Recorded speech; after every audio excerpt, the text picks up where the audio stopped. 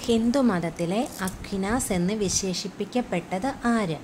ശങ്കരാചാര്യർ. ഹിന്ദുമതത്തിലെ Aquinas എന്ന് വിശേഷിപ്പിക്കപ്പെട്ടത് ശങ്കരാചാര്യർ.